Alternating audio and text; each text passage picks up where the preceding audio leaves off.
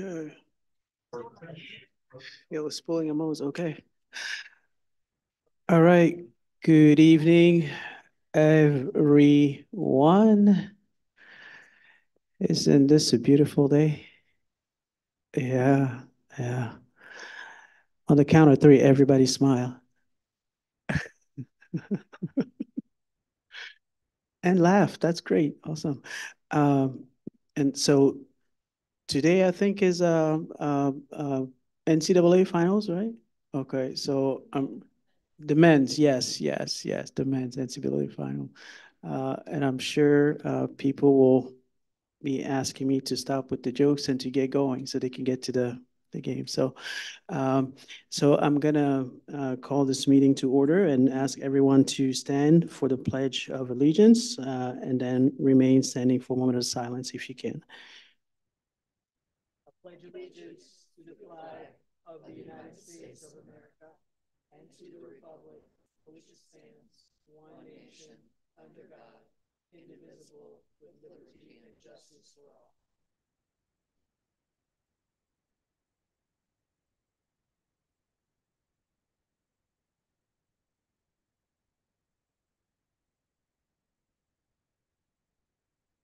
Okay, thank you. Um, Madam Clerk, could you please call the roll? Councilmember Kearns, Here. Councilmember Boelen, Here. Councilmember Montney. Here. Councilmember Danenberger, Here. Councilmember Becker, Here. Councilmember Hendrick, Here. Councilmember Ward, Here. Councilmember Crumpler, Here. Mayor Mwilambwe. Okay, here. Um, no, we have, um, under recognition, we have a, a proclamation. Um, And it's a recognition for National Library Week, and I think, uh, Jeannie's gonna come up. Do you wanna go up to the podium over there? Um,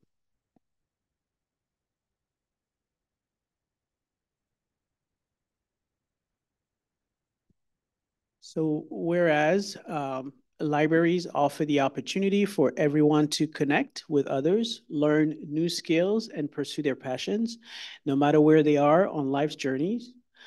Whereas libraries have long served as trusted institutions, striving to ensure equitable access to information and services for all members of the community, regardless of race, ethnicity, creed, ability, sexual orientation, gender identity, and socioeconomic status.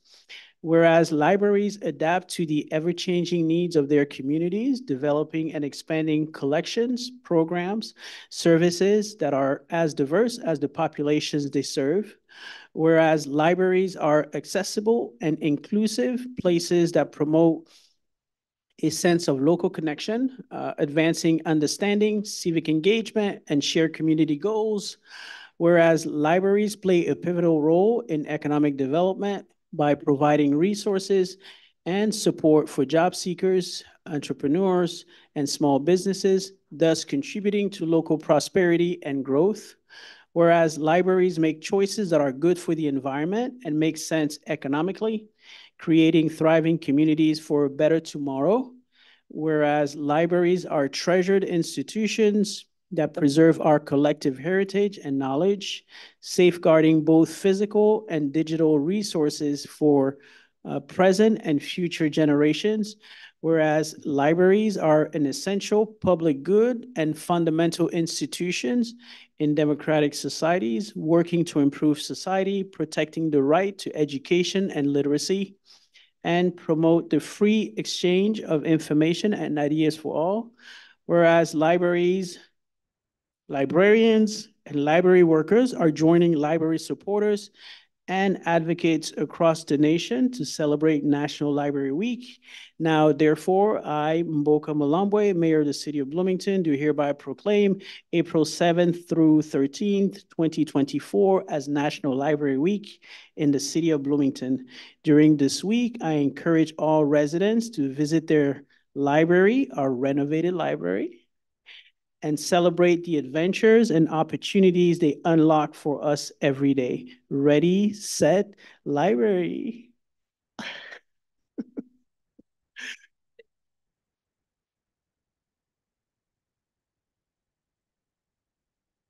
picture?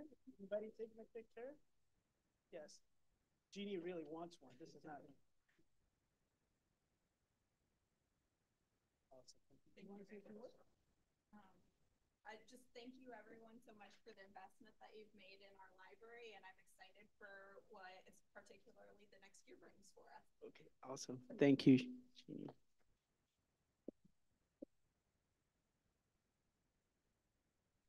Okay, the next item on the agenda is the consent agenda. Is there a motion to approve the consent agenda?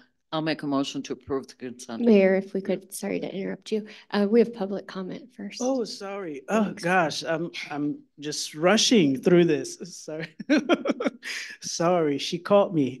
Okay, uh, let's go back to public comment. Uh, do we have any public comment? We do. Okay. Uh, we did not receive any emailed public comment, but we do have five people registered to speak in person.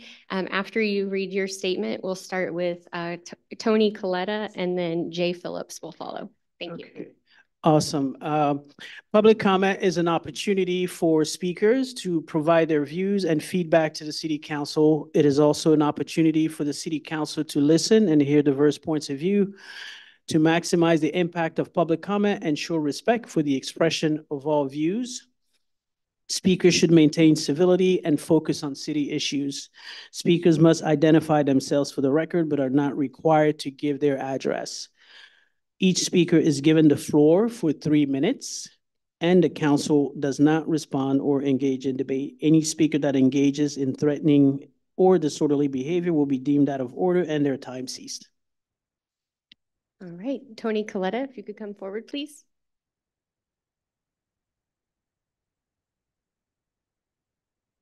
Good evening.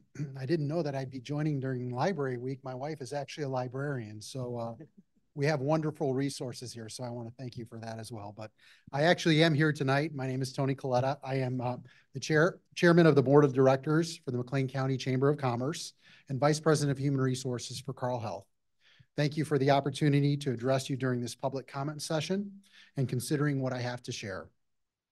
I address you today as chairman of the chamber on behalf of its 930 plus members, excuse me, our member businesses, the majority of which are right here in Bloomington. At the chamber, part of our mission is to advocate pro-business perspectives. That means advocating for our member businesses and their success. Today, that advocacy is in support of the Downtown Bloomington Streetscape Plan and its Phase One funding as part of the fiscal year 2025 budget. As you may recall, we also advocated for the passage of the funding to develop this plan back in 2022. In alignment with our 2024 advocacy agenda crafted by our Government Affairs Committee and approved by our Board of Directors, we consider these both to be key votes to the business community and ask that you vote yes to approve both measures. Last week, you received a letter from us laying out why we support these efforts and how it ties to the priorities of the business community. I will briefly outline those reasons again here. Promoting downtown economic development and quality of place projects is a key priority for the chamber. It serves the dual purpose of stimulating economic activity and attracting a, a- talented, dynamic workforce to our community. These directly correlate to our top two policy priorities, priorities for 2024, which are workforce development and quality of life projects. Businesses thrive in communities where people want to live. For the city of Bloomington, we support significant public investment in downtown Bloomington, specifically via the Downtown Bloomington Streetscape Project. This is an exciting opportunity to revi- revitalize our downtown. Developing our city center into a hub of economic activity will benefit all of Bloomington Normal and McLean County. Members of the Chamber's CEO Council, Government Affairs Committee, Board of Directors, general membership, and staff have engaged throughout the- this public process and appreciate the conversation to this point. We look forward to working with you to implement the plan. And in closing, thank you for your time and please vote, please vote yes on the streetscape plan and its phase one funding. Thank you. Thank you. Next. Thank you. Uh, next up, we have Jay Phillips, and then to follow will be Noah Tang. It's great to see all of you this evening. Thanks for having us here and thank you for being here uh, to discuss, discuss this topic. You know, I am Jay Phillips. I am the uh, chairman of the CEO Council here in McLean County, as well as president for Commerce Bank here in Bloomington Normal. The CEO Council has now been on this journey to, to get to this vote for over four years, along with our conversations and partnerships with many of you on the council and city, city administration. Our support for the streetscape plan at this point should be no secret. For those who are unfamiliar with the CEO Council, we're a group of 23 local business owners and leaders here in our community that believe in smart investments and decisions in our community that will assist in moving all of us forward. Our group represents 3,000 jobs within McLean County and provides tax support of under over 700 million in revenue, revenue generated. Our support for the downtown streetscape plan resonates for multiple reasons. We believe in quality of place as an economic driver, and that thriving downtown can provide, it, provide a staple for our community, jobs, income, a place of social interaction, tax revenue, retention of workforce talent, and a hub for a quality of life for our residents and our future residents. When we think of cities that we visit in our lives, most of the times our minds go directly to the reputation of that city's downtown. Please know this is something we can't hide from. It's now time for us to evolve. Once again, the time spent by the CEO Council now spans over four years of research, council conversations spanning two city council terms, city administration conversations, and has resulted, resulted over that time period with one desired outcome of approval of this plan and its phase one funding. We look to this council as a group, as leaders within our community, to be determined to create a long-term vision for Bloomington in which this project can be, provide an anchor for. Our council is familiar with the previous streetscape plan, which was developed and shelved around a decade ago. Taxpayer dollars were spent, as well as time, and, and, our, request, and our request is not short of asking not to repeat the past. As the CEO Council was present when the current plan was approved, much conversation surrounded the failure of implementing the past streetscape plan along with the dollars spent. Once again, we ask this plan to move forward. I will leave you with one quick uh, story of mine. At eight years old, I was an American Legion baseball team baseball player and annually was asked to fundraise for the league. I remember a thriving downtown Bloomington as I stood in front of Fannie Mae, where today the Pantograph sits, across from the History Museum. I remember raising enough money over a weekend I was awarded with free Chicago Cubs tickets where I got to see Andre Dawson. I would extremely, I would be extremely proud to see my grandchildren be able to do the same in Bloomington downtown. Myself and the CEO Council greatly appreciates the time invested by all of you in conversations with ourselves, the city and their partners who have put together this plan that we all believe in. Please vote to approve. Thank you very much, and thank you for your time. Thank you. Next up, we'll have Noah Tang, and then to follow Zach Carlson.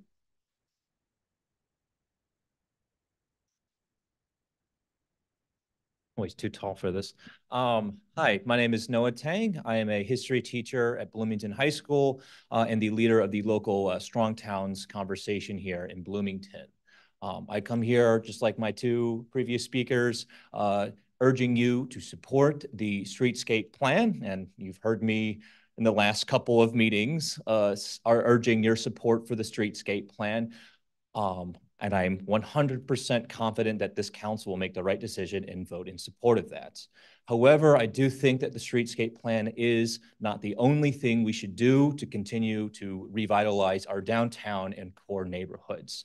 Uh, importantly, when we're talking about the economic driving factors such as Rivian um, and other major expansions of um, factories around town and other businesses, we really, really need to take a look at uh, more housing, right? The last EDC report came out, and I think it might be out of date as well, uh, 7,000 units short of housing. Um, and I really, really want to make sure that this council, this city makes infill core development easier um, for affordable housing. Um, now, I was uh, quite sad to see that the uh, laborers um, Public Housing Division, Affordable Housing Division pulled their uh, agenda item on this uh, night, but I would really love to see another project, something like that, pop up near downtown as well. Um, when we build housing near downtown, we're allowing everyone to live and enjoy the area of downtown. Um, when you have a 24-hour district like you see in these uh, larger touristy cities, uh, you really feel the liveliness. And I think it's very important when we're talking about economic revitalization uh, a lot of it has to do as well with psychology, a group psychology. What does the downtown look like? How do people act downtown, um, et cetera? And when we upkeep the streets, I think that's important, but I also think we need to look at the uh, empty buildings, the facades uh, that are crumbling, and uh, money that we need to spend on finding people, uh, places for people to live, right? So I, I would love to see downtown to return to its heyday with um, more housing, more affordable housing. So not just uh, the very wealthy can enjoy it, but uh, everyone can have access to downtown. Um, on top of that, I want to make sure that our downtown is accessible to people of all ages. So don't just go there uh, expecting to spend money. My uh, students often say there's nothing really to do in Bloomington, and then I point them to a map and I list out every single thing. Um, but I, I think it's very important that uh, the best marketing for a city is the quality of your downtown. Thank you. Thank you. Thank you. Next up, we have Zach Carlson, and then to follow will be Vicky Tilton. Uh, hello, my name is Zach Carlson. I'm going to try and get through my short list here pretty quickly. Uh, first of all, uh, I do want to uh, agree with others have said and do please pass the the downtown streetscape plan. Um, it is very important that we see this, and this is the only time, one of the only times you'll see me and the Economic Development Council and the CEOs agree on the same thing. Uh, if you know me, yeah. Um, on that note, um, on the housing, as Noah brought up, and I saw in the GLT article that the affordable housing was pulled for momentarily. I would urge the city, I'm sure y'all are already in talks, but to give them whatever they want. Also whatever they want for the budget to give them, give them that plus double. Um, couple other things. Uh, I just want to comment on Young America really quick. I think it's absurd that they're only paying eighteen hundred dollars in property taxes. I know that was the agreement.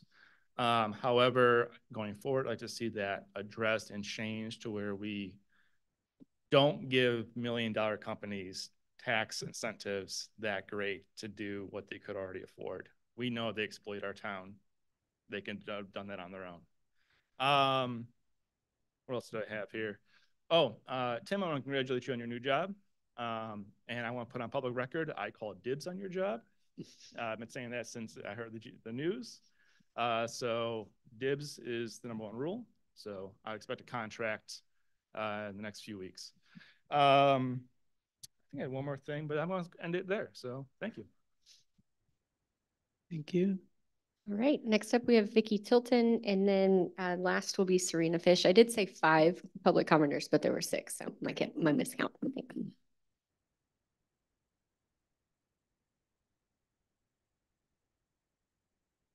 Good evening. I'm Vicki Tilton. I'm a downtown resident, property owner, and business owner. Um, Mayor, City Council, staff, thank you for hearing us tonight. I have to start out by saying how sad and even emotional I am when I heard that Tim Gleason was going to be leaving us. But what I'm happy about is all the positive energy that Tim has brought to the office of our city manager pleased with the systems that he's put in place or helped to put in place, and more so the team that he has put together to lead those systems. One of the most visible projects, of course, has been the Downtown Streetscape Project. This is the most complete plan I have ever seen for our downtown in 25 plus years. I've been through all those other ones that are on the shelf somewhere here. Uh, we have a great momentum on this plan. It's been thoroughly thought through and it has had public input to take into consideration the taxpayers' feelings.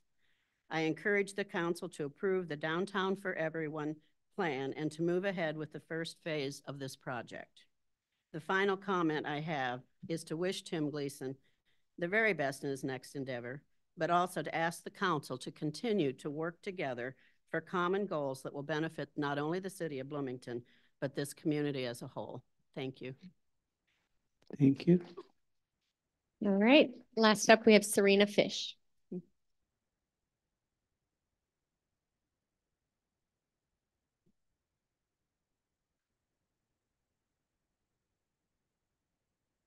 My name is Serena Fish. I'm head of West Side Neighbors. Um, I'm on the PSCRB board and managed to get in the middle of a lot of things because I care about my community. Unfortunately, this whole project stops about two blocks that way and two blocks this way. As you come over the bridge, you have a tent city. It's getting bigger and bigger and it's getting rougher and rougher. As you come over the bridge now, going south out of downtown, there started another tent city. Uh, this weekend, we had some major problems there where we had to call the police. And uh, I did get response from the mayor. I got response from the Bloomington Police Department. Um, and the person that was causing was uh, threatening to shoot people, um, stab people, all the above.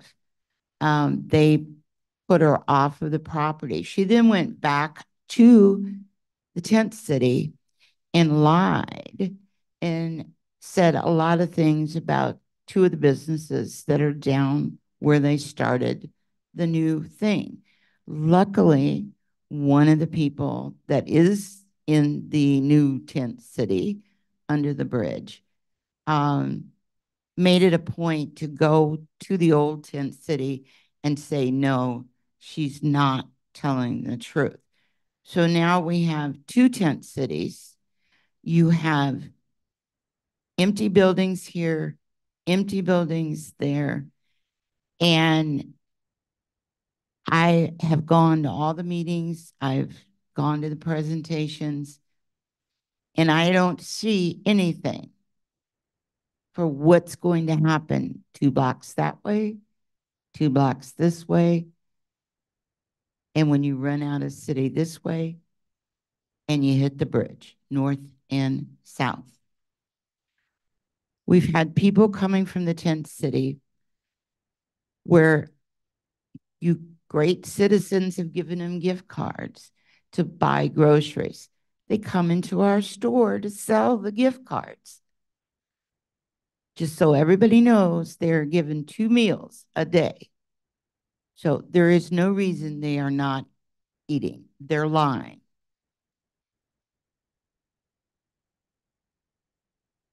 Front and center, the old, I think it was May Company building. Front and center, and I, I know something's going to be happening. There is a dead bird in the window, and it's been there forever.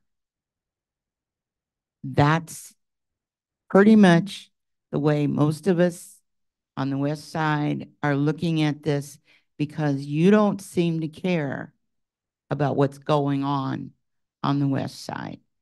You're more concerned building bars, building restaurants downtown that we cannot shop at. Thank So you. keep it all in mind. Yes, Mr. Mayor, I am finished. Thank you very much for your time. Thank you, thank you. Um, There's no further public comment. No further public comment? Are we sure? Okay. All right. Um, So now we're going to move on to the consent agenda. If I remember correctly, Councilmember Boelen wanted to. Made the motion to Mm, approve? Okay, is there a second? Second. Okay, second by Councilmember Danenberger. Um, Are we, the, the electronic voting is working, right? Okay, awesome.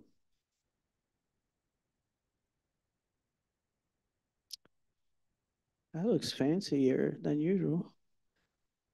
Yeah. Hands of colors, green, yellow, And it's all done. huh? There you go. Ooh, that's awesome. All right, so the, uh, the item passes. There are no nays to announce. And now we are going to move to, uh, regular agenda item, uh, eight A, uh, a consideration and action on an ordinance to adopt and appropriate, uh, the fiscal year twenty twenty-five. And I am going to turn it over to City Manager Gleason um, for introductory um, remarks. Thank you. Thank you, Mayor and Council, and uh, to the community. Uh, Very brief comments before I turn the floor over to uh, Scott Rathbun, Finance Director, to uh, bring the uh, FY twenty-five uh, budget across the finish line. Very proud of this budget, as I have been in uh, past budgets that staff has presented to council, council making those very tough decisions. I'm hoping the community appreciates the integrity in the process. We take great pride in uh, being very open, uh, engaged with the uh, community, trying to explain how we, as stewards of the taxpayer dollars, uh, use those dollars, and uh, very proud of what I will call an accomplishment uh, that uh, will go before council uh, here in a couple of minutes after a brief uh, recap, presentation by Scott. Scott. Thank you, City Manager, Mayor, Council. Um, This is the sixth and final um, presentation for this budget, and then we start, you know, with the reporting next year of the variances as we go through. So we did the proposed on March 11th, public hearing on the 25th. So- So tonight, we're presenting uh, the adoption of the FY '25 uh, budget. Uh, Consistency, I I believe in. We're going to be going through the same exhibits. I will not be going through the details, but just kind of highlighting them. But this, this um, presentation is online for the public to view at their leisure, along with the other resources. Next slide, please. So as I've mentioned, um, it's a, it's a, a strong budget uh, and it's emphasizing uh, public safety, road, sidewalks, dependable infrastructure such as clean drinking water and public well-being. You know, our parks and rec, our entertainment, cultural divisions are very important for the community too. There are competing interests. We try to address those through our meetings with council and community and talking with uh, what I view as our experts, expert staff and our directors. So citywide budget, 331.7 million, almost 332 million. Uh, general fund, 143 million. And capital projects, oh, nearly 89 million dollars uh, in capital projects this coming year, a significant dollar amount of the budget uh, going towards those capital projects. Next slide, please. Uh, this is a, a, an exhibit that we've presented for the last couple of years showing uh, the kind of the operating growth um, of the budget, kind of taking that gross budget and then removing out um, some of the, the variables uh, from year to year, uh, specifically the capital projects. And this indicates that we've been we've grown at about four percent in the last ten years uh, for uh, on the, the, overall budget, and then on salary benefits, another point of interest because we have added a lot of staff. We have needed the staff. We reduced staff a lot in 2010. Um, we've grown at about 3.6% in the last 10 years. Next slide, please. Um, this exhibit highlights uh, the complexity of our uh, financial structure. We do have 29 funds. Not every fund is listed here. We've combined some funds uh, that are similar in makeup. Uh, this shows the variances uh, year to year in our budget. And this is how we typically re refer to our budget as a variance from the prior year. So this highlights uh, those, those increases or decreases at the fund level. We have had increases in staff. I've mentioned several times about the increases in public safety, equipment and projects. We've moved, we've had to move some equipment expenses forward from the future years into this current year due to uh, timeline restrictions or the window uh, pre-ordering for the fire trucks, inflation, and then we've had increases, uh, a large increase in our public safety pensions uh, from year to year of about 2.4 million. Next slide, please. Uh, major tax revenues. We have taken these up. Um, you can see with this group of uh, tax revenues by about $10.6 million year to year. We've been trending higher the last couple of years. Uh, we've kept um, the, budget flat, you know, into 23 and 24, but we are recognizing that that trend is probably is going to stick through 25. So we have taken those major tax revenues uh, up. Um, you know, 9.25%, I will say that's material. Um, you know, we are uh, keeping our eyes on the, state budget where the gov is proposing a, repeal of the grocery tax, a 1% repeal, and that could impact, uh, you know, these tax revenues by two and a half to $3 million. But we'll watch that and we'll, uh, we'll act accordingly if need be. Next slide, please. Citywide revenues. Um, at, I've already mentioned, you know, the tax revenue increase and the, and the other remaining increases really are related to um, borrowing for projects and then uh, the increases, especially for water, the, um, those surcharges for services. So water fees are going up substantially for FY25, and then we have recurring fees uh, in sewer and storm that go up as well. And then I will highlight as well that you know we are uh, targeting to use $43.6 million of reserves, so utilizing um, the, the, community's uh, cash towards projects and other infrastructure in this coming fiscal year. Next slide, please. Um, expenditures, you can see the variance from year to year. Uh, as I mentioned, you know, we've had staff, equipment, projects, inflation, and pensionary increases that are kind of driving that overall number. Next slide, please. General fund revenues. Um, again, you know, most of the tax revenues that we just highlighted are really uh, directed to, to the uh, general fund. So you can see that there's $8.9 million in tax increases uh, just for that are booked into the general fund uh, specifically. And so the other remaining increase here really um, is in the, the tax, or in, excuse me, in the total revenues is the use of reserves. So $8.7 million up from 3.4 million the year before. We've had increases in, in what we're addressing in, in, the capital project side of things and the equipment side of things, as I mentioned. Next slide, please. Uh, general fund expenditures, uh, same topics that I just mentioned as far as driving those expense increases. Staff, increases in staff. Um, we added nine public safety uh, employees, seven in police, two in fire.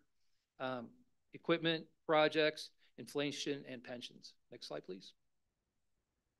General fund by function. I left, left, we left this exhibit in for this, um, for this presentation. This highlights by category the general fund, which is the largest fund, and it's 43% of the entire uh, budget, and shows, again, you know, our emphasis on public safety and the, and the commitment that we have there. You know, $69 million uh, related to public safety total budget for the year.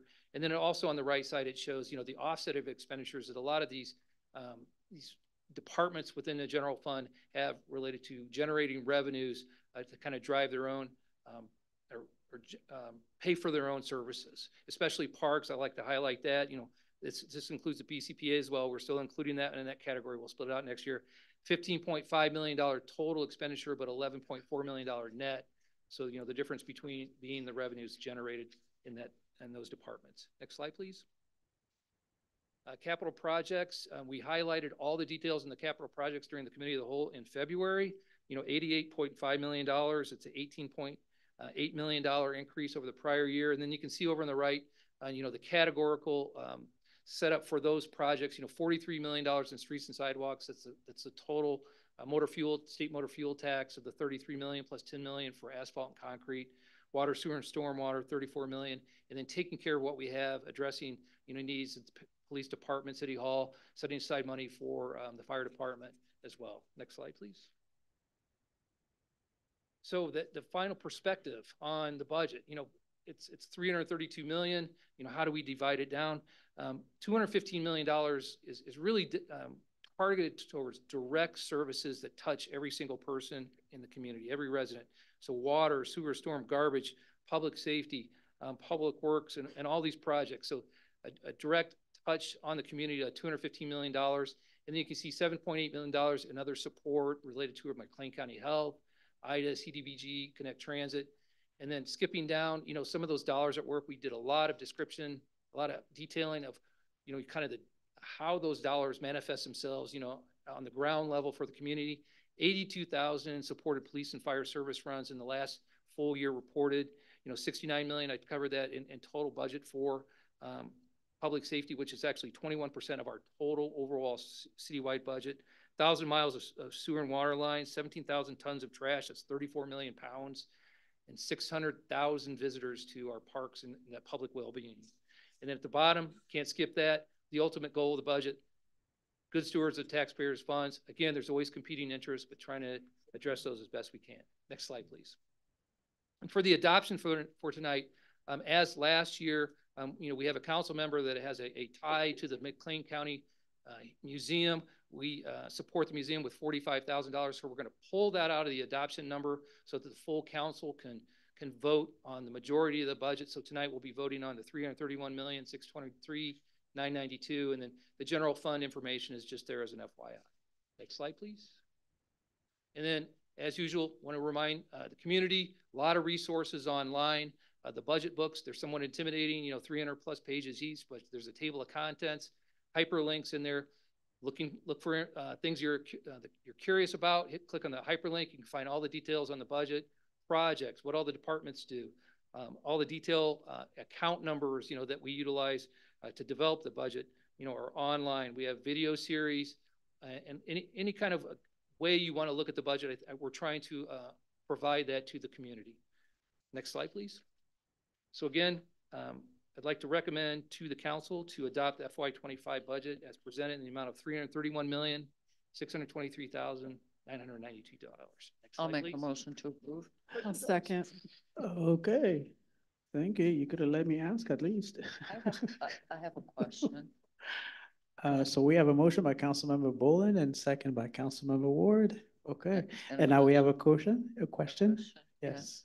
I know that for the past three, four years, um, we've been paying cash for, well, we, we weren't leasing, we were paying cash for equipment. And, um, I finally got down to the very last page in the budget books. And I noticed there's like four thousand, or no, four million, um, for capital lease. Is there Yeah. a reason for the change? There's not, not all the funds can um, pay cash for their equipment. So Okay. uh, s- solid waste, storm, sewer, those kind of the three funds that usually need some help. Okay. Sometimes golf, and we have done some subsidies this past year, like for golf, you know, with the, um, their Okay. carts. But yeah, so we usually, we budget it, and then if we have dollars available, we may come back to council and say, you know, maybe we want to do a subsidy to those other funds because the general fund is, is doing well. Save those funds, interest expense, and then, you know, we'll do a budget amendment then. Okay. Fair enough. I knew you had a good explanation. Okay, question? I'm wondering if you could pull up slide three again.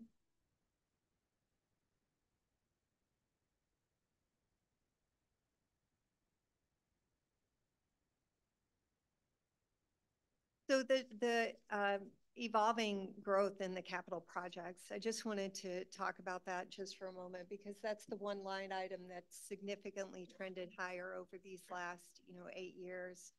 Um, so as we look at this budget, uh, this time around, um, how much of this eighty-eight point five million in capital projects is funding for the phase one streetscape? Zero. I appreciate you clarifying that. Um, you know, I, I think, um, that's something that, you know, we should know as we reflect on this budget, which already reflects a fourteen percent increase over the prior year.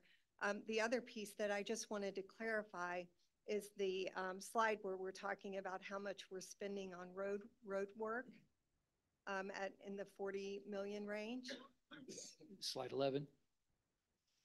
And you do a fantastic job, Scott. Um, really, I mean, so much information and so very helpful.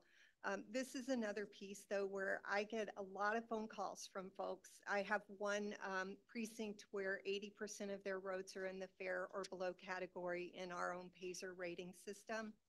And on this line item, um, what comprises the 43 million? And I'll start by just sharing what I know, um, which is on our actual spend for what my constituents would see as road work. Um, that amount hasn't increased from the prior year.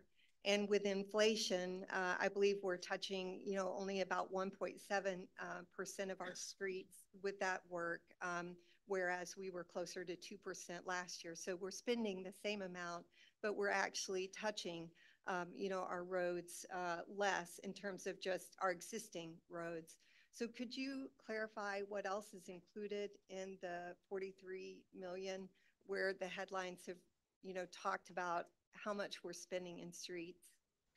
Well, a, a large chunk of that is related to the state motor fuel tax. And so that's the Fox Creek Road and Bridge um, projects, that's fifteen million dollars, and then the Hamilton Road um, project as well. So thirty-three million dollars are those, that, those large projects. There's some other items within the state motor fuel tax. And then for asphalt and concrete, um,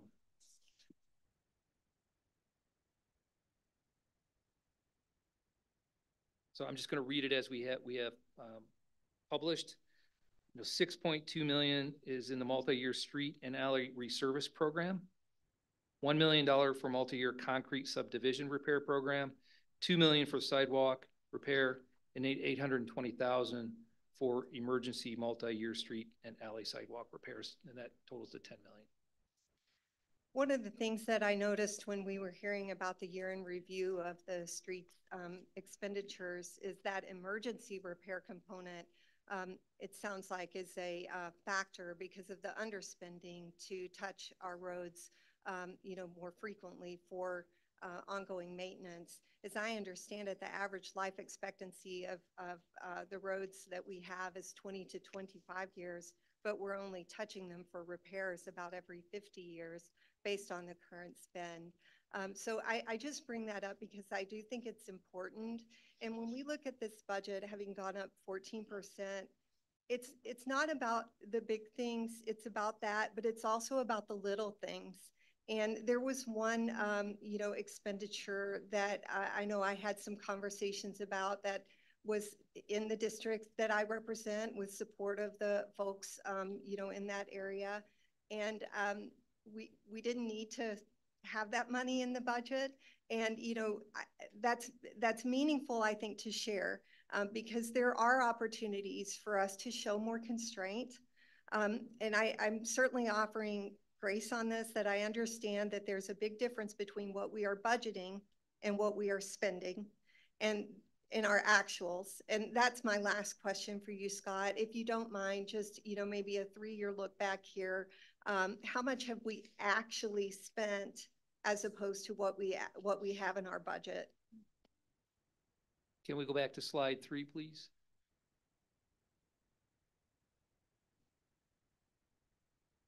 So there's there's a line that's two thirds of the way down called actual plus encumbrances. So you know we we include anything that's been encumbered that's been approved by council on POs, and so you can see the um, the totals there, you know, if you want to just highlight uh, 2016, you know, a total budget of 186.3 and an actual plus encumbrance of 172.1.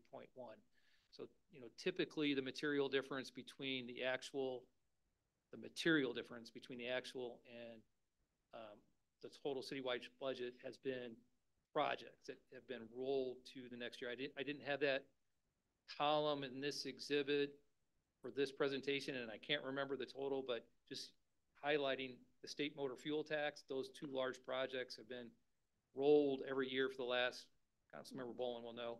Um, so that's been a, you know, 20 some million dollar underage every, every year just from that right. perspective.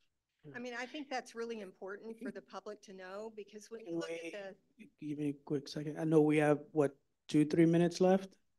I know we have Tom who also wants to speak. Okay. Just want to make sure we get the time up. No, I appreciate that. I think I think these details are important. At least they were important to the folks who have reached out uh, to me. Um, so I really appreciate that, Scott. I'll uh, yield the rest of the time here to uh, to Tom and anyone else. But um, thank you very much for clarifying those things. Okay, Councilmember Crumpler and then Ward. Um, thank you, Mayor. Um, and I appreciate, you know, your your, your um, attention to details. It matters a lot. So thank you for that. Um, you know, we've listened to detailed discussions and presentations on this budget. Thank you, Scott. It's been so thorough. Um, I feel like I understand this budget better than I ever have before in um, previous budgets. And so, you know, and I recognize as a council, we are promising the taxpayers in this community a lot in terms of projects, infrastructure, uh, repair, and a safe community. And I believe we can deliver I think this is a moment when we have an opportunity to move Bloomington forward in ways that our residents can see and appreciate that this council is managing and investing its tax dollars wisely. And I plan to vote um, to approve this budget. Thank you.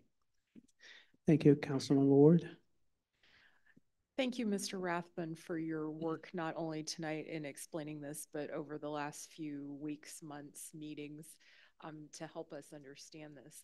I am voting in favor of this budget because I believe that it helps us as a city to, um, as a city council, to live up to one of our, our most important obligations, and that is to be good stewards of the, the city taxpayers' funds um, ultimately it comes down to that and i wouldn't wouldn't um, miss the opportunity to be able to to vote for a budget like this. I think this budget helps us to avoid two really important temptations. You mentioned earlier um, competing priorities. I think in a in a society that is as polarized as we are, it would be very tempting at times to to go go all one way or all another way. And I see this budget as one that that avoids that temptation. It it doesn't put all of our eggs in one basket. It helps us to to approach a number of different competing concerns and issues that matter to people rather than simply focusing on one thing all the time. I also think that rather than being reactive, this this um, budget avoids the temptation to be reactive and allows us to be proactive. It thinks forward. It doesn't just think about the potholes right in front of us. Those are important, believe me. But it also allows us to be proactive and think forward about the issues that are coming down the line. And so for that reason, I would call the question. Well, thank you. I think we had a, did we have a motion? Yes, okay, yes. Yeah, you already have a motion. Um, you have a motion by Councilmember Boelen, seconded by Councilmember Ward to pre- uh, approve as presented. Okay, now I remember. Thank you. Um, okay, so is everybody ready to vote? Okay.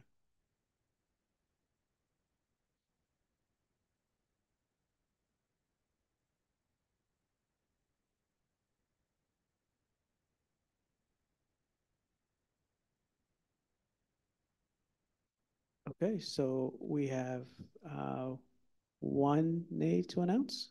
Councilmember Montney. Okay, thank you. We're going to move on to um, the next item, and I'm going to turn it over to uh, Scott Rathbun. Thank you, Mayor. This is just an amendment. Yeah, he needs himself. As described in the in the previous presentation, to amend the FY25 budget for the $45,000. And I will remind the mayor and community uh, and the council uh, that we will be publishing, assuming that this um, $45,000 amendment passes, we will be pu publishing the budget in total as it was presented prior to the $45,000 being removed. So I'll make a motion to approve. Okay, motion by Councilmember uh, Boelen, second by Councilmember Ward. Any questions? No? Your light is up? No? Okay, all right. Okay, let's go ahead and vote.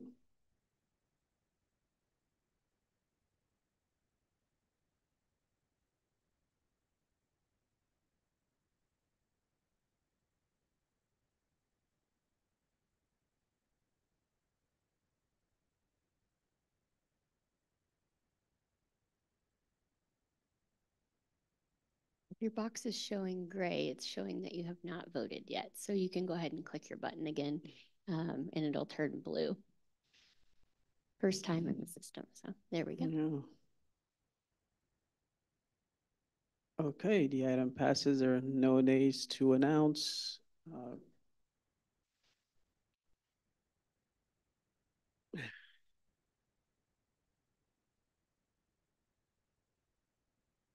Okay, now we're going to move on to item C, consideration and action on a resolution adopting the Downtown for Everyone Streetscape Program. Uh, report volumes one through three as requested by the administration department. And I'm going to turn it over to Deputy City Manager uh, Tyus um, for some introductory remarks. Thank you, Mayor, Mayor and City Council members. Um, exciting day for us again. Um, we've talked a lot about the streets, downtown streetscape project, the downtown for everyone plan. Um, but you know, it, we've talked about the fact that it's a roadmap for making generational changes to our, our downtown and to our city. What does that really mean? I mean, it's it's a big word, literally. And um, what does it mean? You know, it, it's for us, it's about more than la landscaping and lighting and streets, et cetera, et cetera. It's about creating a destination for local residents, both from from our community, but also from the region. Um, it's about really getting our house in order and meeting really specific community needs. Again, what do I mean by that? First of all, you know, from years of working in community and economic development, I know for a fact that site selectors look at the condition of your downtown when making a decision about where they're going to go. I know for a fact that people looking for jobs in your community, look at the condition of your downtown and, and its level of vibrancy, et cetera, et cetera, and making a decision as to where they're going to live. So it becomes a, a locator tool, but it also becomes a recruitment tool, for lack of a, a better way to describe it for employees. Um, and we both know that economic de development matters to us. We also know how difficult it is to recruit employees for all businesses today. So this type of work matters in the grand scheme of trying to address those issues. Uh, I think Zach said earlier, frankly, we want to create spaces. Uh, you know, it means creating spaces, giving people things to do downtown other than shopping and dining and visiting our, you know, our wonderful museum. It gives, it creates activity spaces for folks to come and do things. Um, we've talked a lot over the last several weeks about this being an infrastructure project in addition to the exciting sizzle that you see. But again, what does that mean? You talk about criticality, and I know there were some questions. I think Councilmember Montney sent some questions this afternoon that we were not able to get to because I was out, frankly. But hopefully we'll be able to get to some of those questions. What does critical infrastructure mean? You know, one of the things that we did in, in determining which infrastructure needs to be replaced as part of this is that we looked at life expectancy. You mentioned it earlier about roads. Um, we looked at the fact that certain infrastructure is expected to last a certain number of years. And so we said, if it's only going to last this number of years, we need to work to replace it so we don't have to come back in and tear out the streetscape and replace it. So I think that was 20 years. You know, you talk about infrastructure such as filling underground sidewalk faults. Well, I'm not going to sit here and say that our sidewalks are failing right now, but you don't want our sidewalk faults to fail. You do not want to wait until they fail before you replace them. So filling sidewalk, underground sidewalk vaults is a part of the work that we're doing, is would be doing as part of this project. You know, those, those vaults become safety issues as moisture leaks into them and Midwest weather hits them. Uh, it just, it, it happens. Right now, our sidewalks literally have like hollow spaces under them because the vaults are there. You don't want to wait for them to fail, in our opinion. Um, we've talked about combined sewers a lot with the Locust Colton project. We've got a number of combined sewers in our downtown. Again, I think you mentioned is it, it's not a mandate that we separate those sewers, but it's a health issue in that when you have heavy rains with systems that are combined, you have backups, and that's not healthy for your community. And so again, the EPA has not said replace your combined sewers, but you don't want combined sewers in your downtown or in any area, frankly. Um, like I said, um, when you have when you don't have separated sewers, it backs up into Benward and it impacts their ability to treat it. Um, it becomes an issue. I don't know if any of you, frankly, have been downtown when there's a heavy rain and you smell it. You know, that's it's it's not a comfortable thing for our downtown restaurants. So you don't want that. Um, replacing combined sewers is a big part of this work. Um, underground drainage that's being proposed as part of this first project. It, it complements the work that is being recommended with the East Street Basin.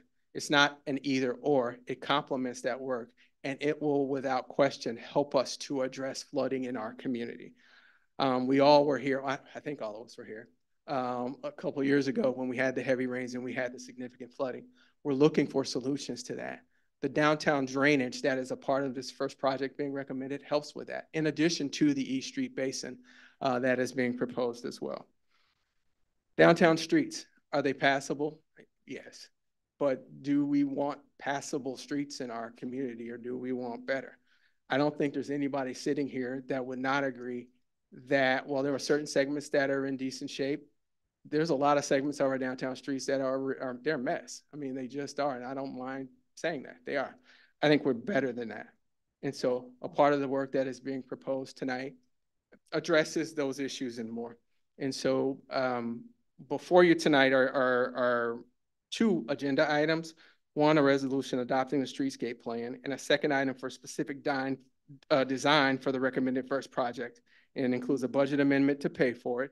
And it also includes an amendment to address some work that has happened that in part was necessary in order to get us to this point.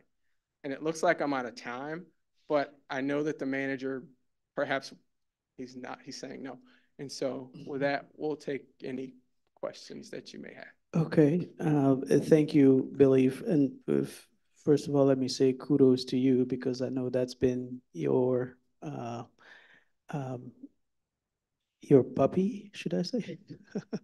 Um, you've been working on this project for uh, quite a bit of time, and I think it's it's important we recognize how much time and effort you've put into it and bringing people together. So, uh, yeah, really appreciate that, and all the others who worked on it, including the stakeholders. I, I think uh, this is, uh, you know, it is nice for it to come together uh, in this way. Um, and as was um, reflected earlier, there have been many iterations of downtown streetscape plans, but I am glad that we're finally where we have something uh, that will not sit on the shelf. So appreciate that. Is there, um, but first, I think we should probably start with a motion. Yeah, I'd like to motion to approve. Okay. I'll second. Second. Okay, uh, well, motion by Councilmember Danenberger, second by Councilmember Ward. And Do you mean Hendricks and then Ward? yes, Okay. oh, Hendricks, sorry. What did I say?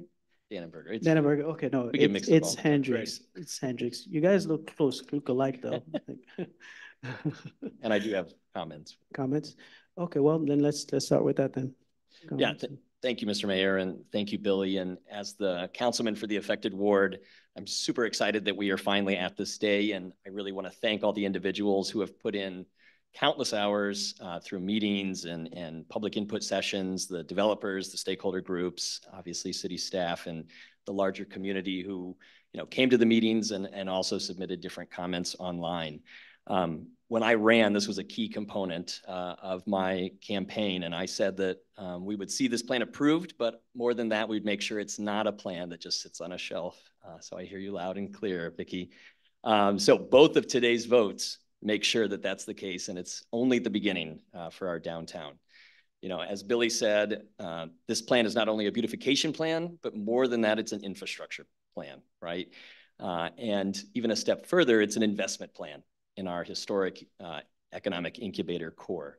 Uh, it addresses roads, sidewalks, accessibility issues, issues with uh, or increases pedestrian friendly access, upgrades our museum square, adds public art, and enhances our green areas of the downtown.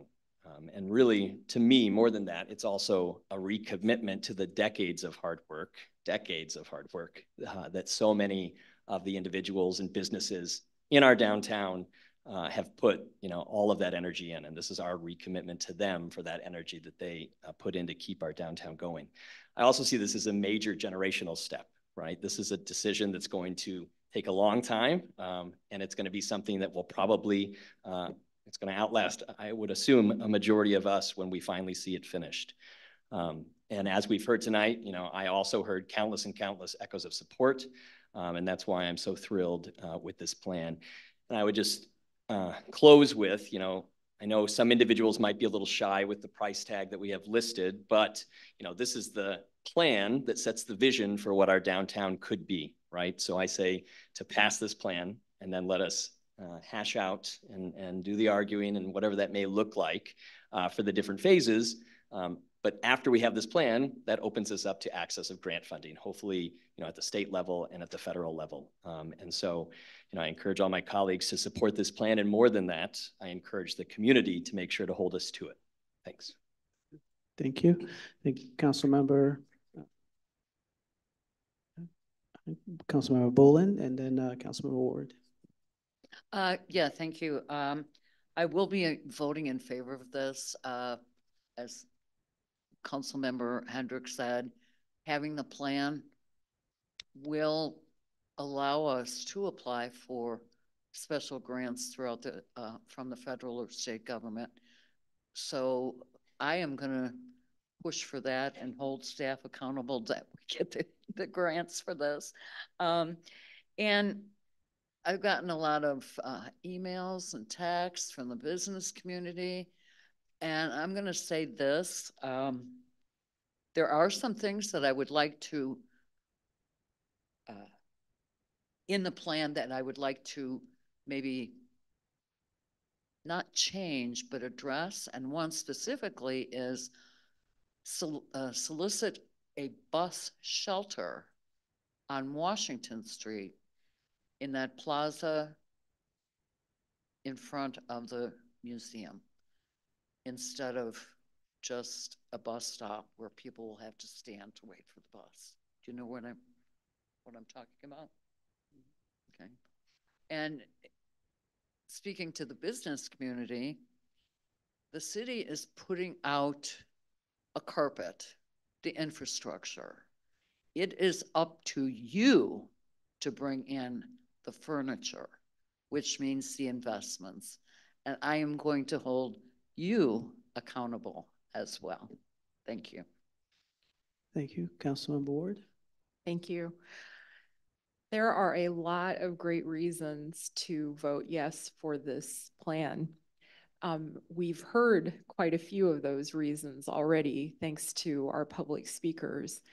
I would suggest that we've also seen probably the biggest reason to vote in favor of this, and that is that downtowns bring the community together.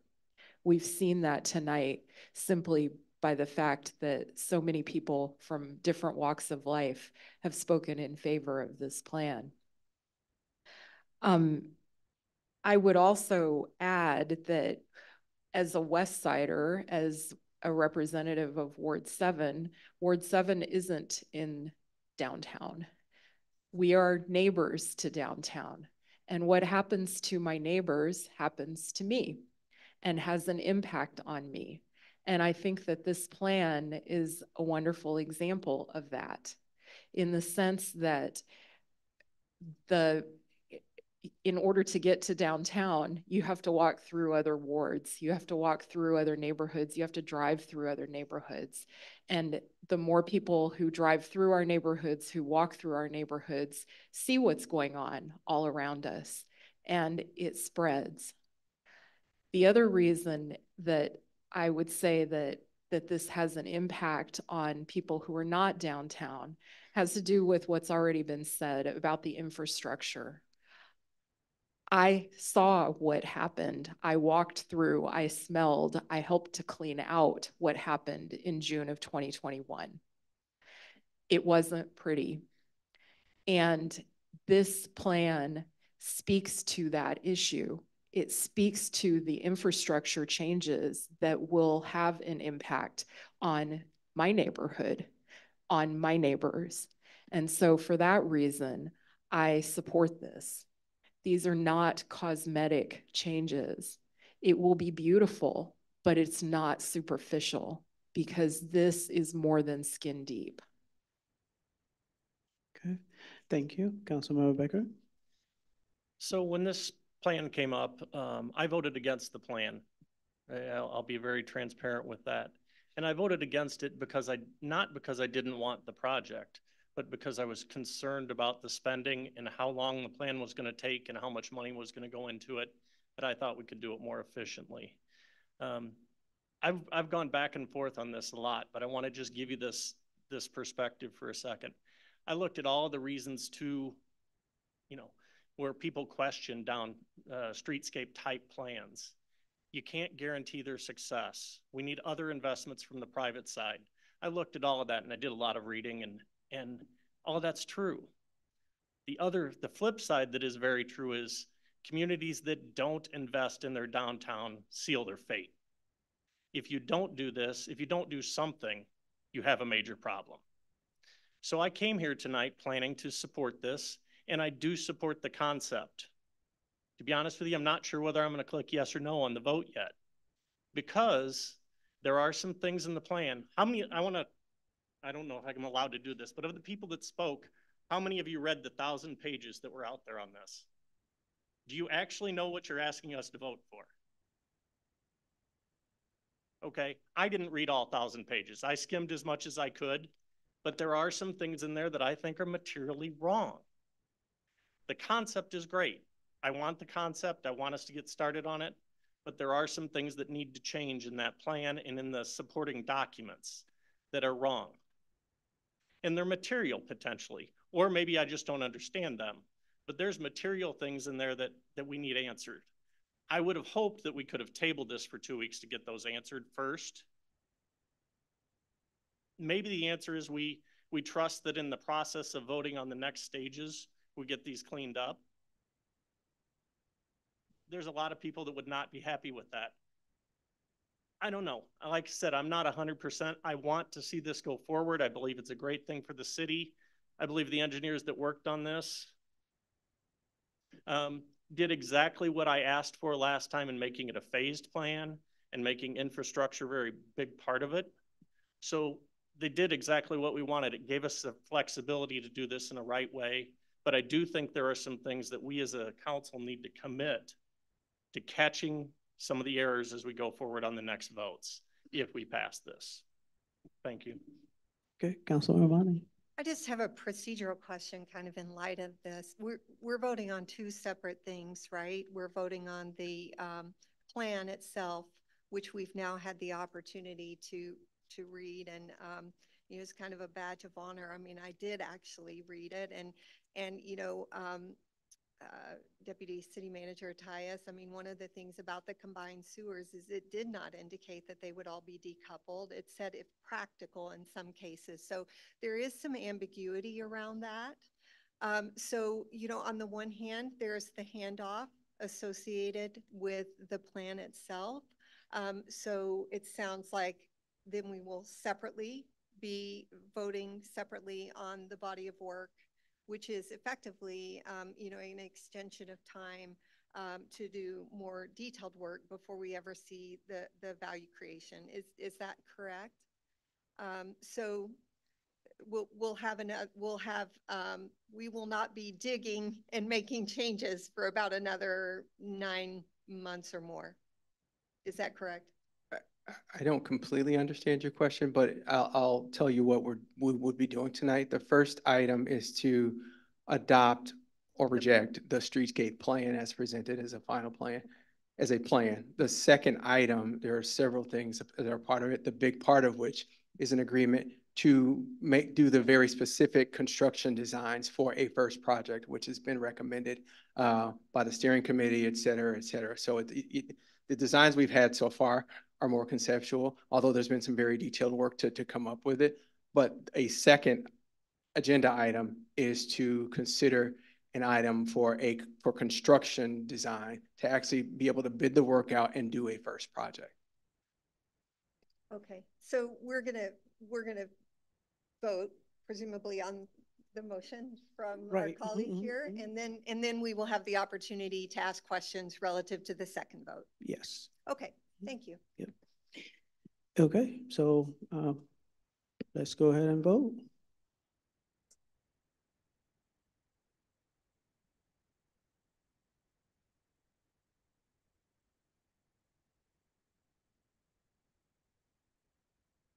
Okay, so the item passes. There are no nays to announce. Thank you. We are now going to move on to that's item D, right? Yes, item D. Okay. Uh, a consideration and action on one, an ordinance amending the budget ordinance uh, for the fiscal year ending uh, April 30th, 2024 and then two, a resolution approving an agreement with Crawford Mur Murphy and Tilly Incorporated for the development and construction drawings for the North Main Street project as part of the Downtown for Everyone uh, program in an amount not to exceed $1,050,000 and a change order in the amount not to exceed $100,000 as requested by the Department of Operation and Engineering Services and the Administration Department. So we're going to go back to Deputy City Manager uh, uh, Tyus, so you can explain all of that to us. And... Mayor, oh, sorry. No, go ahead. Thank you, Mary. Appreciate it. Uh, really quickly, a couple things I'd like to do. One is I'd like to invite Mike Sewell and Chris Strissel and Kent to the table if you would come because they're the engineering firm that, that we're recommending uh, the agreement with. The second thing I'd like to ask before I do go into this is see if the manager has any comments. I know that you, this has been something that's been near and dear to your heart as well. Is there anything you want to say before we go into this? Just in general on this to uh, the community, uh, just my gratitude. You know, I, I love a challenge and uh, this definitely was that. Uh, the uh, public comments uh, this evening uh, were spot on, uh, captured everything that I feel. you know, there was a process involved in this, and it was the community outreach uh, that occurred over the past several months. And to the mayor's point and other council members, truly Deputy City Manager uh, Tyus ran the lead on this. You know, a promise and a pledge that we had was, uh, you know, to get this right, uh, to try to get people that, uh, you know, have been involved in the past back on board with the pledge that this is not going to set on a shelf and collect dust. And that's exactly why you see this second follow-up item uh, in this very same council meeting. Thank you, Billy. Appreciate it. So really quickly for everyone, what this item does is there's an item recommending an agreement with CMT for the development of construction drawings, which are completely different than the concepts that we've come up with to date. Um, they're based on that work and based in large part on, on that work. That work had to happen in order to get us to this point. Um, there is a budget ordinance, a recommended approval of a budget ordinance amendment, amending the, um, the budget for this year in order to be able to pay for it. Um, a lot of questions often come up related to you want to do something like this, how do you pay for it? Well, in this case, we're, we're making a, we're recommending a budget budget amendment in order to pay for this agreement because it's during this this fiscal year. Again, Councilmember Montney, you mentioned you asked the question, you know, is there anything in next year's budget being proposed for this project? And Scott rightly answered no. There are a couple of reasons for that. One, it would be absolutely presumptuous of us to put a number in the budget, not knowing where you would go with any of this, realizing, yes, you, you we got to figure out how to pay for it, and we do. But it would have been presumptuous of us. The other thing that you mentioned was the fact that we typically underspend our budget, and we know that in planning for this type of work. So there is room for for for funding, but probably most importantly, as it relates to paying for this project when the construction drawings are done, and if you recommend approval, is that we have said specifically that we would pay for the work uh, both uh, out of reserves, and there is room in the reserves to be able to pay for this. So really quickly, again, this item is a budget ordinance to pay for this agreement if you approve it, resolution approving the agreement, and an adjustment to the original agreement where there was a lot of work that had to happen in order to get us to this point that happened earlier than today. So we're recommending an, an, an amendment to be able to cover that. It's largely an accounting function. Um, you know, for example, in order to get to this point, there was detailed work to design the underground drainage that wasn't in the original scope um, with, with CMT. There was work specifically related to parking at the BCPA lots that wasn't in the original scope that was necessary to figure out, hey, if we do this on Main Street in a phase one project, is there room in other places um, to, to provide parking? Now, to be clear, there was other work that had to happen. There was other public input sessions. There were additional um, public meetings that were held. There were additional three-on-one meetings that weren't in the original scope, et cetera, et cetera, that this is, would cover. But in large part, it's covering work that needed to be done to get us to this point. And so with that, we will take any questions. I'd make a motion to approve. Okay. Second. Okay, motion by Councilmember Hendricks, and I think I heard Councilmember Kearns. Okay. I have a- Um, I have a question. Question, okay. Councilmember Boelen. Oh, it's, it's a question comment. Billy, could you make it very clear what we are voting on? Because some people seem to think we are voting on the 12, 13 million dollar project rather than a one million dollar plan or, or not a plan, a design, like an engineering design? You said it very well in that in order to get to a point where we can bid out this work, you need construction designs. You need very specific details related to what would be built, which is different than the concept designs that we have we have come up with today. Those were specific. It's like going from here to here in terms of, of what you're what you're planning for. And so tonight, you're absolutely right. It's an agreement to um, provide construction designs for the first phase project, which we have recommended and we've talked about we were going to recommend, going from Jefferson to the North Main um, Plaza, which includes the design for drainage. It includes the traditional streetscaping. It, it includes um, the separations of combined sewers where practical, as you said. Um, it includes designs for all of that kind of. Having said that, we have in all of this planned for how to, if you approve, if those designs are done, and if you approve of them, and then if you approve of the bids, how to pay for that construction, that first phase. And again, as we've talked about, we've talked about utilizing reserves for that, and Uh, we have room for that. No, I understand that, I know but what. I'm saying, the, there are members of the community that think what we are voting on tonight Mm-hmm. is that 12, 13 million dollar funding. And that is not what we are doing. That's correct. That, I mean, I just wanted to clarify that for the community. Um, and I do have one question. There's nothing that I have seen that, um, addresses additional soft costs. Is there any way to figure that out or provide that information, um, going forward? And I'm talking about things, it, it was mentioned in the, um, the thing that we're voting on here, this, uh, one million dollar project about what is and is not covered and the need for other evaluations. I- would leave that, I would ask Mike or Chris to address that question.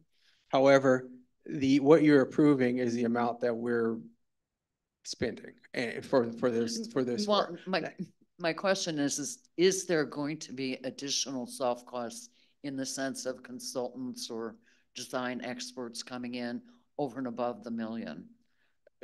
I would say no, but I would ask Chris or Mike to address that question. The answer is no. We included all sub-consultants that were necessary to design this project. Um, the only other potential soft costs that I can even think of would be permit fees.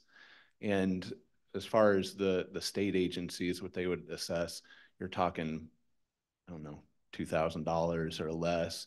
What I can't speak to is whether or not the city of Bloomington would assess a building permit on its own project, and I was involved on one in the past where they did do that, so I, I don't know the answer to that one. Okay, just want to make sure, I mean, since, you know what I'm talking about. Thank you. Uh, We have Councilmember Montney and then Crumpler. So I, I think um, to Councilmember Boelen's point, um, we, we really didn't know what we were voting on until this packet came out some point on Friday. Um, And, you know, the contents, um, you know, 196 pages in one book, um, you know, the packet pages today, 77 more. Um, Book two, 57 pages, book three, another 588. Um, You know, in total, you know, there were almost a thousand pages for all of the related documentation here, much of which supports um, what we're voting on tonight that was included in this consulting agreement. Um, With the time, i- i- normally, what I would have expected is that we would have done as we have in the past, which is to have the opportunity to meet um, in small groups or at a committee of the whole to ask and answer and get comfortable with many of the questions, such as the ambiguity as to whether or not we truly are decoupling, um, you know, the combined sewers. I mean, you know, it's one thing to say we are, and then when we read in a packet that we're voting on that says if practical, it introduces ambiguity. And there are many of the components in looking at the prior uh, agreement that we voted on um, 594 days ago uh, that led us to this point um, that appear to also um, be elements carried forward into this agreement, such as the subcontract relative to sewer uh, televising, um, which also had some dependency, I think, along the way as I tried to piece together uh, the facts associated with that. And as we talked about two weeks ago, um, the need for making responsible decisions associated with our infrastructure. And it's unique in this phase uh, one proposal in that it represents the low ground. There are a lot of reasons that I think you all um, chose this as the first phase. Uh, but I have questions um, that, you know, we, we don't have time um, to go through this evening with eight um, minutes left and with uh, other folks who, who probably want to talk as well.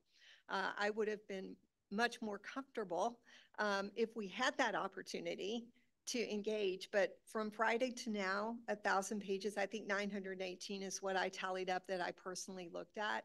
Um, we owe it to our um, constituents, to the residents in this community to ensure uh, some of those questions that I sent in today have been um, carefully considered and any duplication, for example, backed out.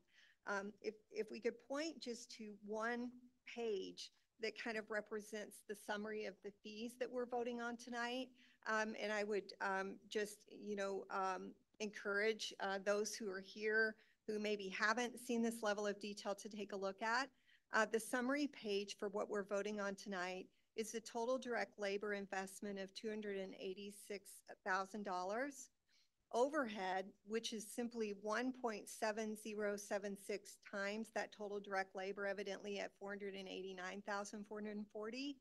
A fixed fee of $97,008 and then total direct costs are listed at 177,005.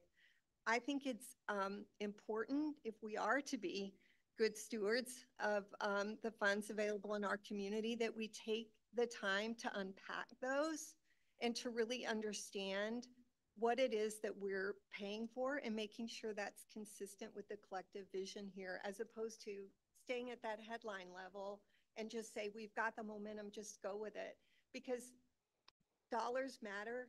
I mean, even if it's just a few. And I'm going to offer one example. Um, meeting minutes is an example of something that was a line item with this. Uh, for the meetings that will take place just during this um, consulting um, and, and engineering drawing phase, more community outreach, et cetera. Um, you know, 40 hours at $66 an hour plus the overhead multiplier. And for limited, you know, number of meetings really, I mean, that that adds up. Those small things add up. Um, and I just don't feel that I would be effectively doing the best I can offer to the city in my role without having the opportunity to make sure all of this is necessary and it hasn't been paid for um, previously. Um, and then I, I did have one actual question, um, which is just noticing that some of the players have changed in this latest agreement. And I noticed, um, you, you, know, maybe one or two of the local um, involved uh, contractors are no longer involved. Um, and I just was wondering if you could shed some light um, on that.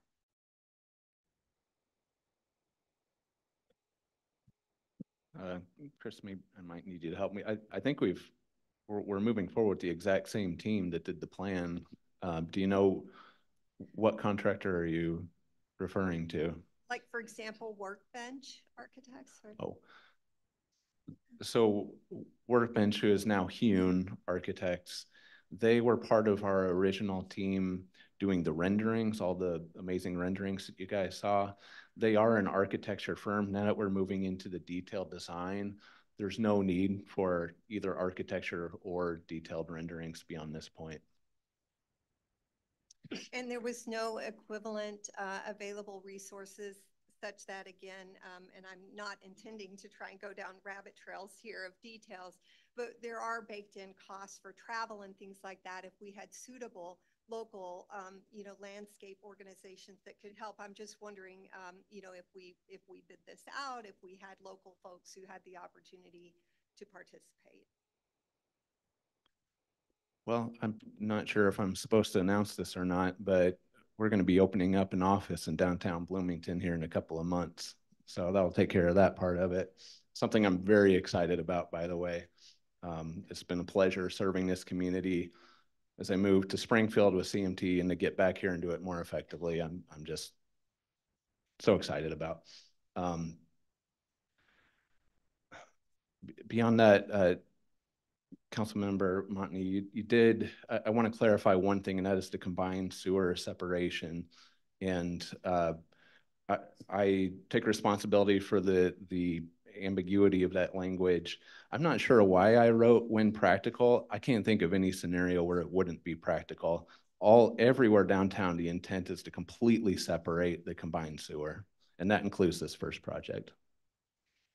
If we had the opportunity to have this conversation and to get these questions answered, um, you know, I, I feel like I would be able to likely, you know, hit that green button, right? Um, but I just feel that there are a number of things that I've put forward and, you know, and asked in advance of the meeting as early as was practical after going through all of this material that remain um, things that I think we, we need to at least have the chance um, to get the responses on. So um, that's, that's my thought. Uh, Okay, sounds good. Thank you. Um, I think we have. Go ahead. What's it- what's that? Can I ask a quick question of the uh, deputy city manager? Sure. Just, just for the sake of the council members that might support this item tonight, just so that it looks like they didn't receive this on a Friday when the agenda packet came out and, uh, and then asked to vote on it on Monday. The bulk of these documents, how long have they been in the hands of council members and what steps, uh, three-on-one meetings have occurred? Uh, the, the bulk of the, the major documents have been in hand. It was a draft for three weeks. We had a draft before council that we gave to council and did three-on-ones, giving the opportunity to ask questions the week prior to that. Um, so four weeks. And then there were the volumes two and three. The, the, the, the, the volumes two and three were sent as an email. I, Mike, tell me when those were sent. You did not have those, but you had them, I think, when I say it was for a couple of weeks. Yeah, it was something like that. I, I suspect though, the concern is not the volumes one through three, but the, the contract. The, the contract. Okay. Exactly. And, you know, it was, it was two weeks ago, um, just preceding our meeting that I saw the information for the first time, not including books two and three. So, I mean, just to, to be clear, um, but this agreement that we were voting on today, um, we received, you know, midday on Friday, and that included a lot of meat that required us to go back to do due diligence, to look at the details in the other books and also in the prior agreement in order to be confident in what we're looking at. I understand that. I wanted to make sure that I clarified that when you said the thousands of pages, I don't think the, the agreement that came on Friday was the thousands of pages. That's what I was specifying in that the agreement, the, the new thing was the agreement that came on Friday. The other documents came before Friday. That's all I was trying to clarify. Okay, thank you. Um, Councilmember Crumpler, you have, uh, forty-three seconds. Uh, thank you, Mayor. No problem.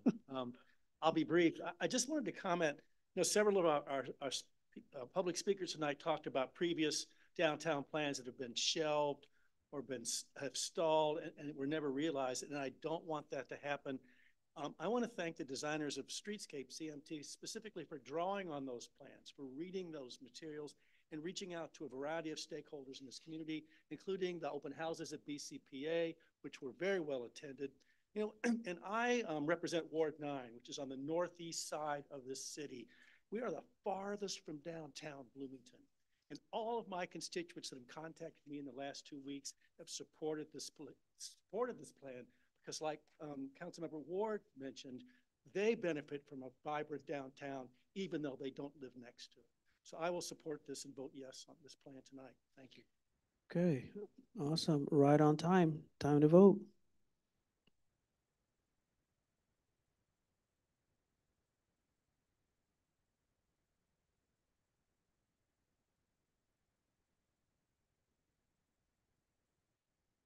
Okay, so the item passes. There are, there's one nay to announce. Councilmember Montney. Okay, I would like to be clear that having there been time to get the questions answered, I would have been able to support this project. thank you. We are, um, where are we? Yeah, sure. Yeah, city manager's discussion. I mean, it's, when you have so much fun, sometimes you forget. Okay. Um, okay, yes, city manager's discussion.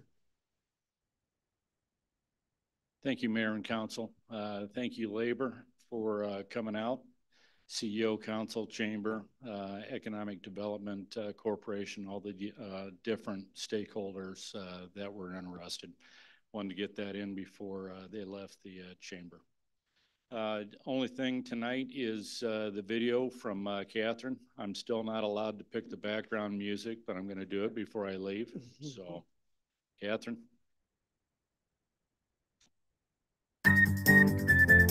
There's always something exciting to do in downtown Bloomington. Join us on April 13th from 10 a.m. till 2 p.m. for an extraordinary experience Global Slow Art Day.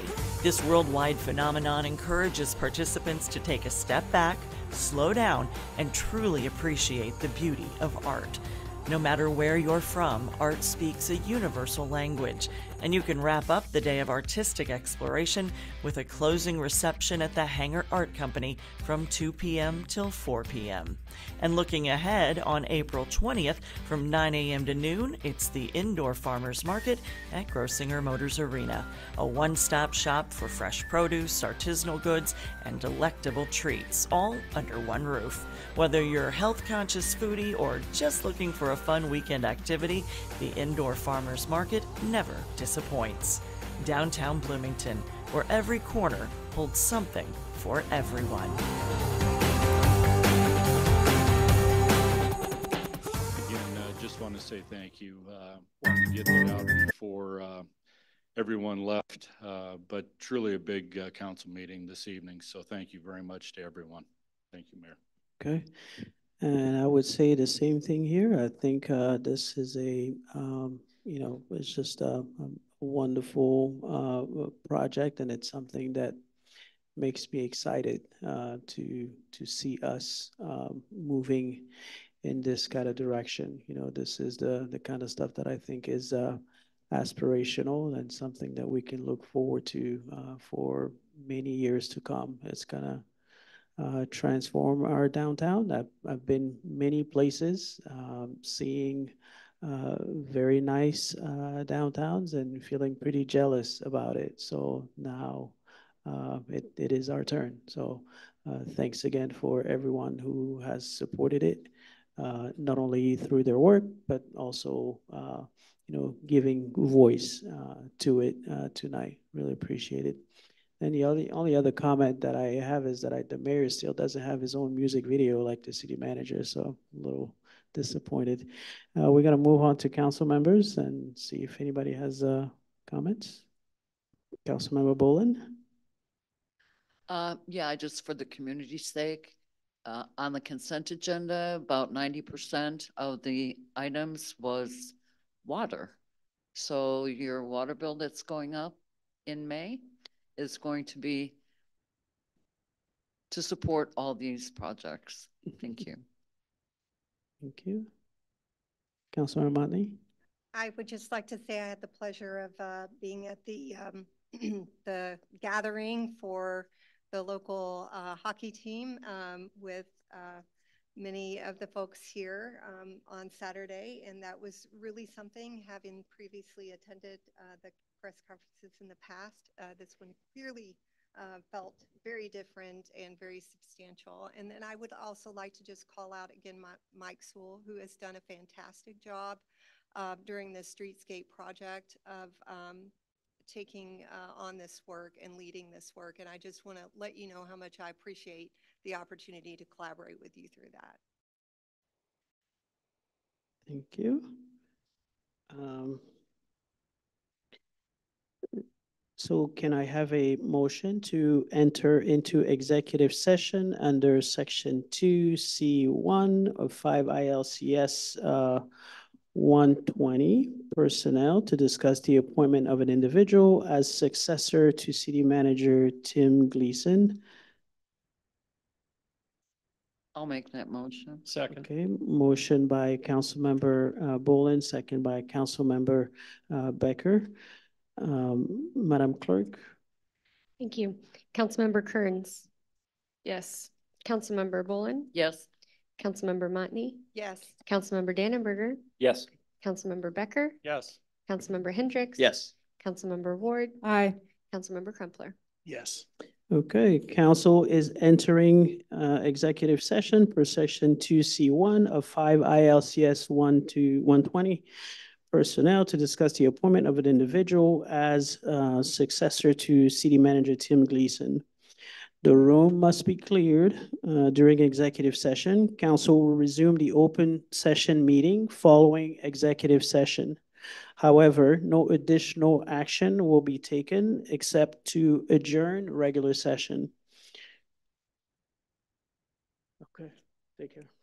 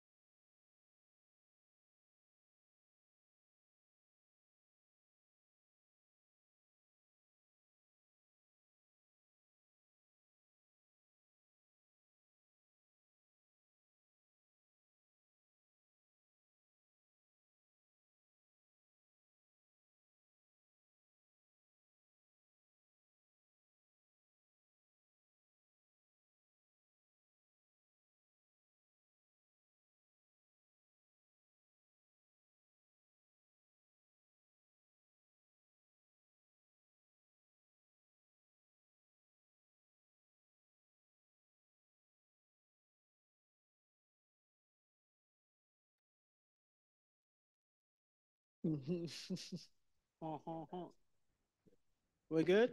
Okay, can I have a motion to return to open session and adjourn the meeting? Motion to adjourn? Okay, Councilman Becker, second by Councilmember uh, Ward. All those in favor signify This- by saying aye. This one I do need to, ro- I need to roll call it really Oh, quick. roll call. Sorry. Oh, sorry. I know. Yes, roll call. Councilmember Kearns? Gee, You're so complicated. Councilmember Boelen? Yes. Councilmember Montney? Yes. Councilmember Danenberger? Yes. Councilmember Becker? Yes. Councilmember Hendricks? Yes. Councilmember Ward? Aye. Councilmember